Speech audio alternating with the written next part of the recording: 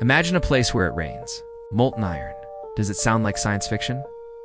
Well, this planet exists. It's called WASP 76b, and it's 640 light years from Earth. On one side, it's always facing its star. The heat is so intense that it exceeds 2,400 degrees Celsius. That's enough to vaporize metals.